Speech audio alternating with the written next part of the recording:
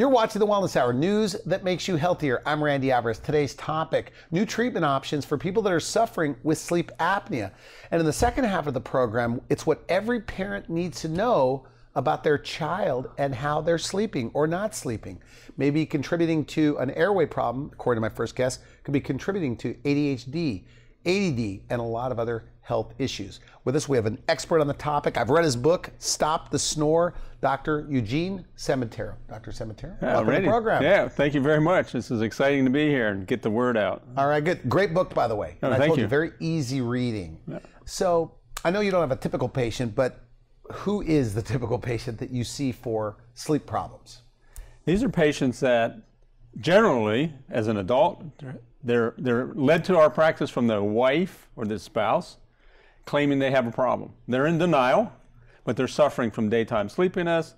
They're having difficulty at work. You know, they're falling asleep as soon as they get home or after dinner. These are the patients that have tried CPAP maybe, or they refuse to try CPAP and they've been unsuccessful. So they come to us for other options. And we also will see children that have similar problems. This is also becoming a very dominant thing in the, in the children's illness is they're dealing with sleep problems also. Is that right? Okay, so now at the second half of the show, we're going to go over specific things that you can do to really identi- identify at home if your kids are having a problem with sleep. Is that right? Yes, With their airway? yes, yes. Uh, so, Stop the Snore is your book.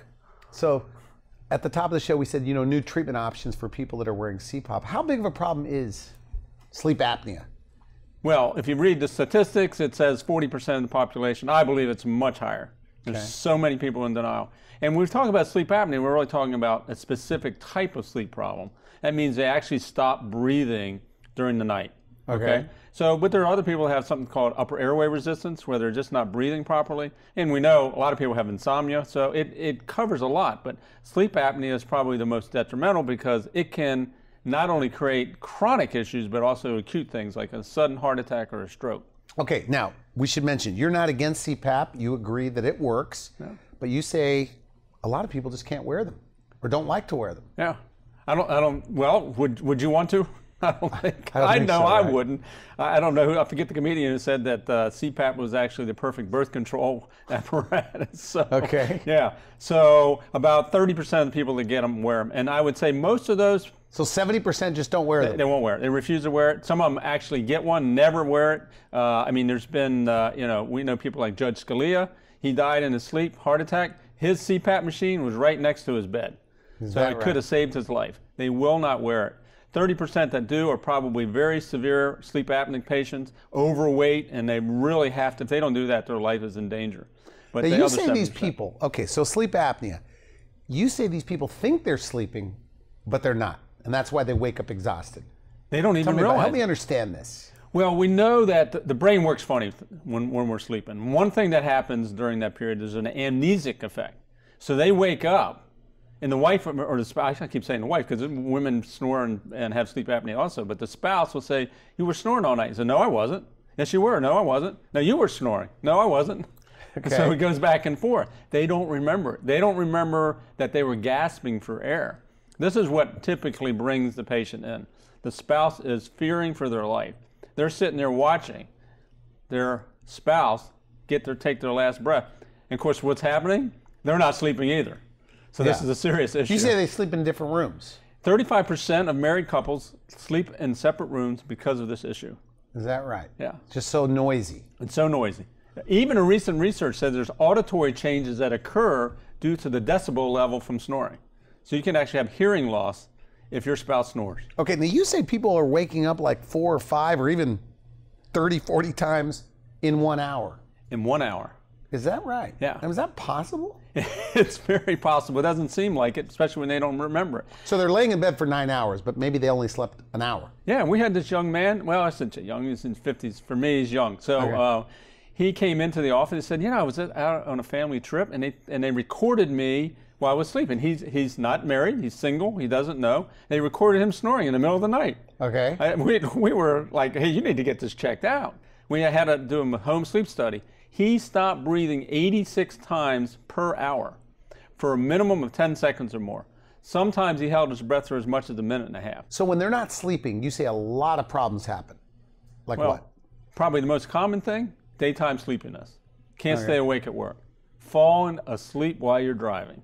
Do you know that more accidents occur from drowsy driving than from drinking alcohol? okay. okay. This is a serious danger. And look at all the major commercial indus- industrial accidents that occurred Chernobyl, uh, Five Mile Island, uh, the, the Valdez. I mean, all these were after midnight. People were falling asleep.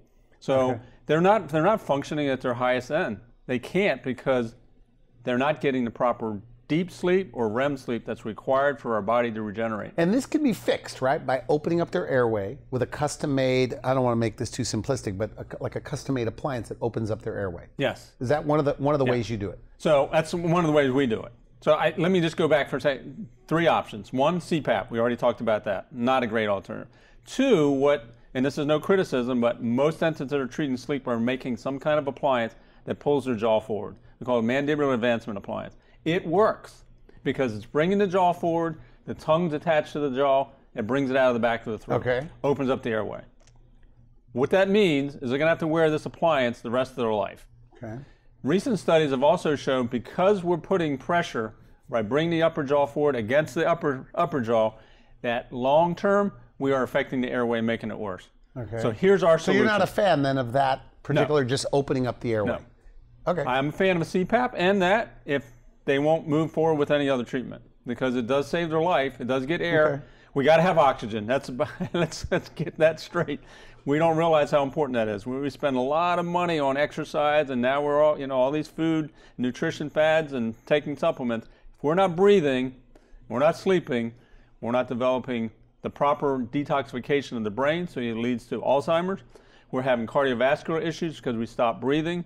It causes these release of cortisol and epinephrine. Has a major effect on our In your book, you say it like raises stress hormones. raises stress hormones. So When you don't sleep, you have problems. Yeah.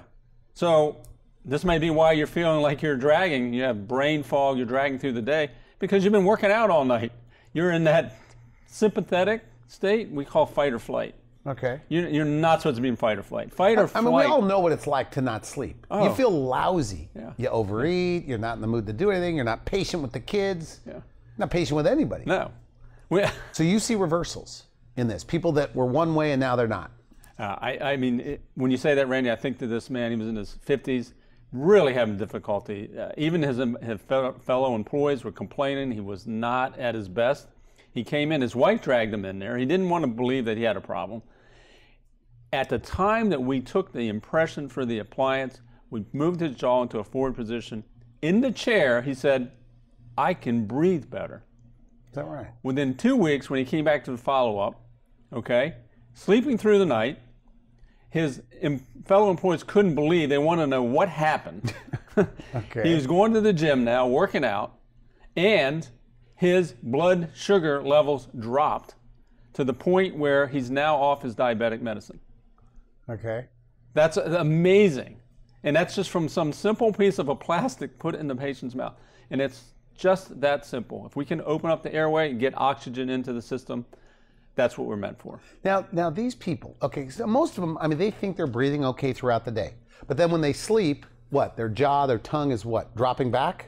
Well, typically, it's exactly what happens. So they may already have structurally a narrow airway. And we look at these things on things like a 3D cone beam x ray. So we can see that in the office. And we already know right away. We look in the back of the throat, and you can't see the back of the throat because the base of the tongue is just clogging it. So what happens when you go from a vertical position to a horizontal position and gravity takes place? It's blocking the tongue. Now, if there's a partial blockage, that's what snoring's about.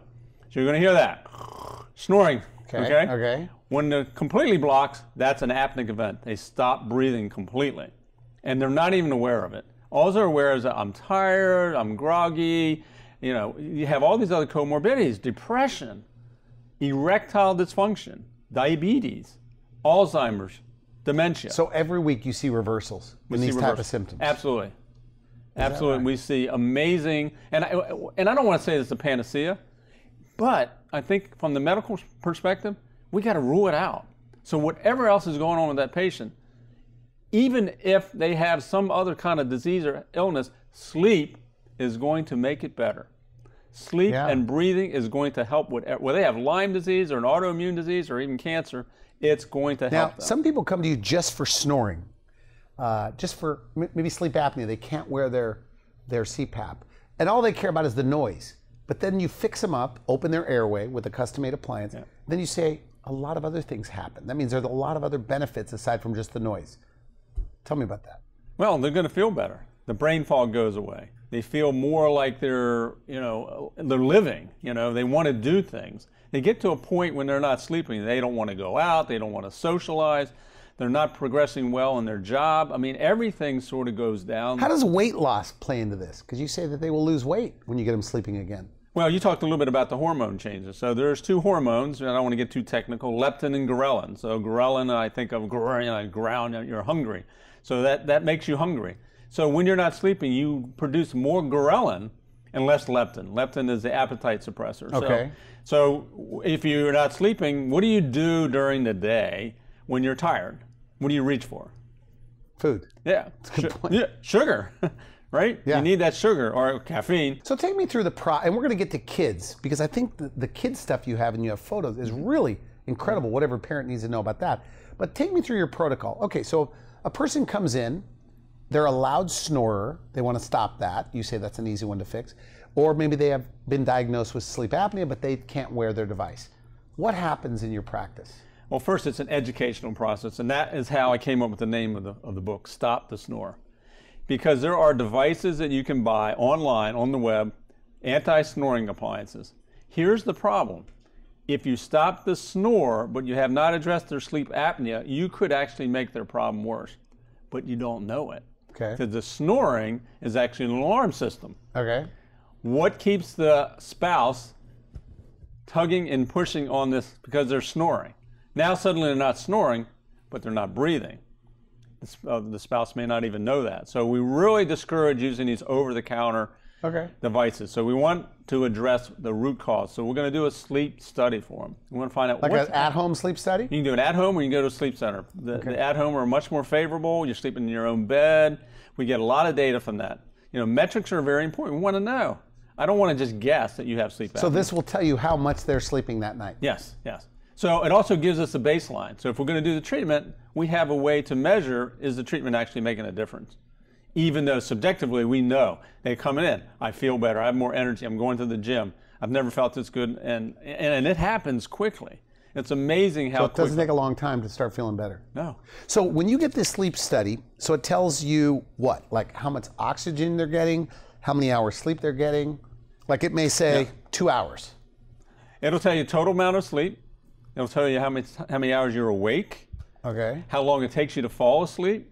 It'll take you show you how much we call delta sleep or deep sleep, which is restorative sleep. So that's when the body if you have chronic pain and you're not getting deep sleep, you're never going to get better. Okay. Okay? And then you get REM sleep. That's where the brain detoxifies itself, we consolidate memories. So we have dreams. If you don't have that, you're not going to also produce growth hormone. So a lot of things happening in this time when actually the brain is very active during REM sleep. It's very active. It's the same activity as when you're awake. The only difference is your body's paralyzed. Okay. Otherwise, you might act out your dreams, and that's not a good thing.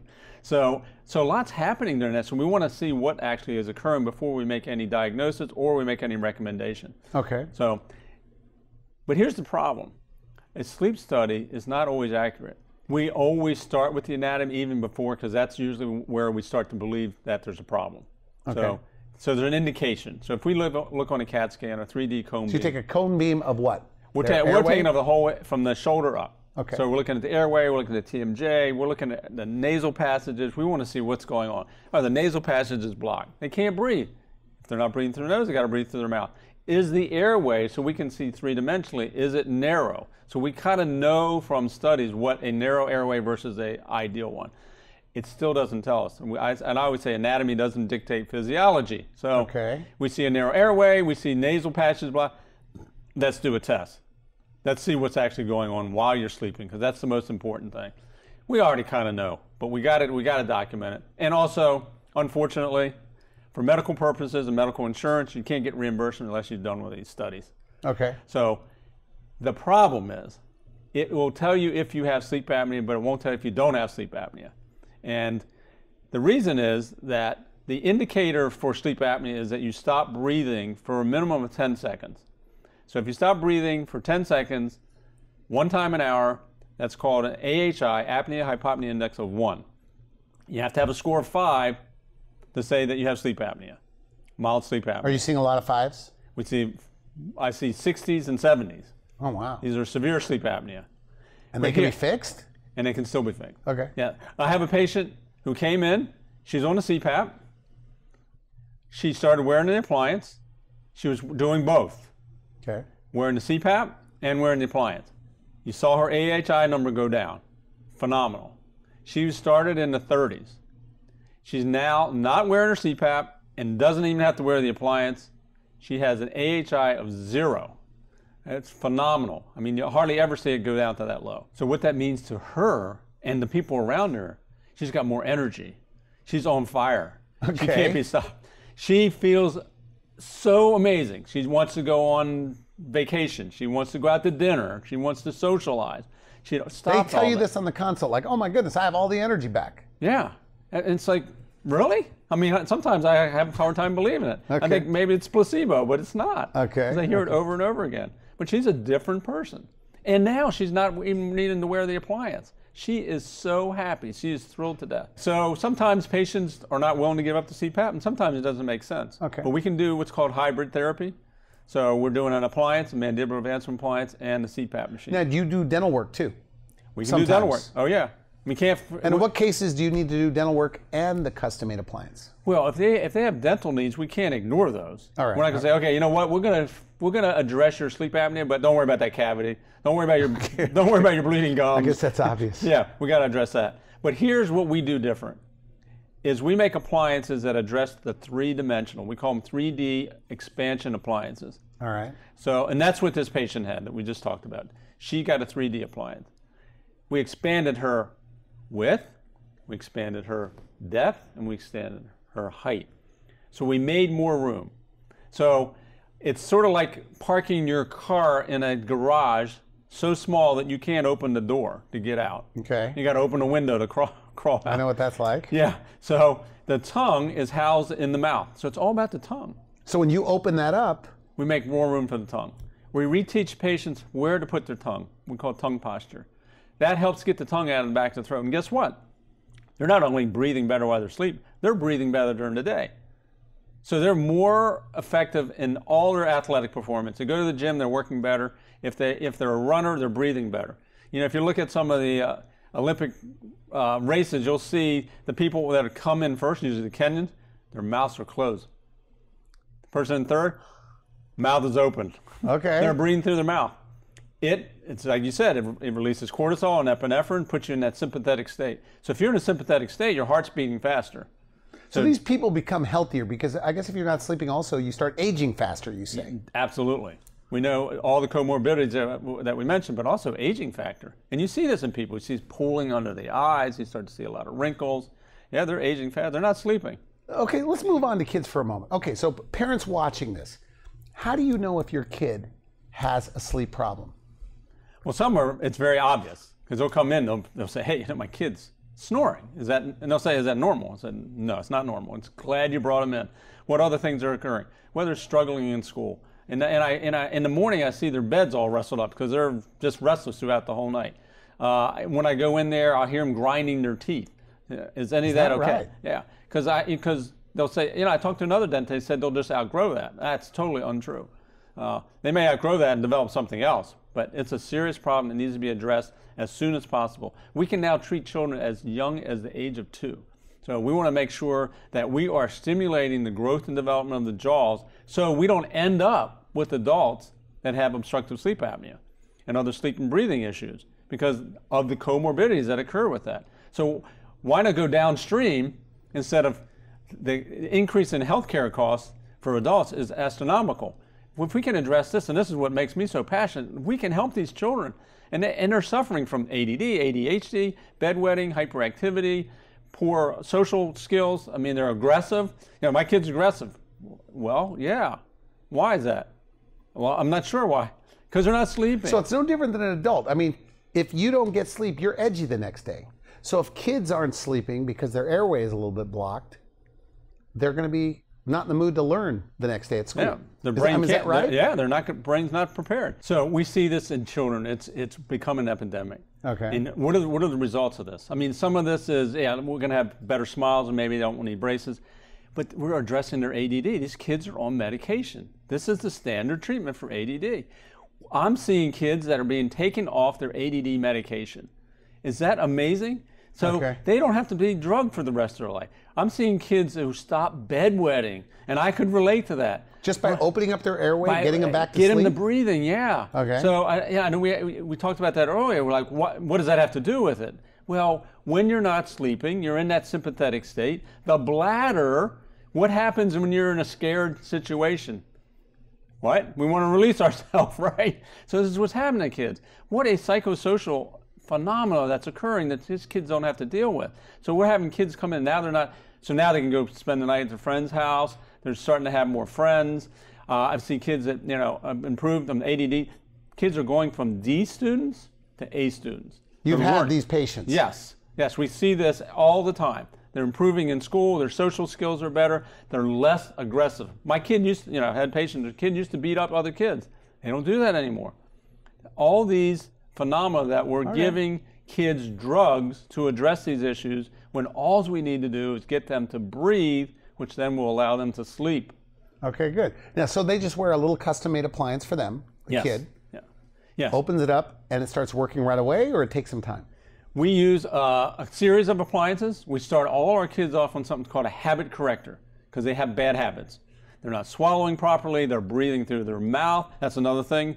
If you see your child breathing through their mouth at night, if you and you hear them So they're breathing, laying there with their mouth open. With their mouth open. That's bad. Yeah. Really? You see them we see this all the time. You see a kid like that, they've got an airway issue. Okay? So it's not even why That they're may only get worse. it's only going to get worse. So you could correct it with an appliance. Yeah, so we correct that first, and then we put in what's called guidance appliances. Okay. So we want to stimulate the jaws to grow in a way that will allow the teeth to come in.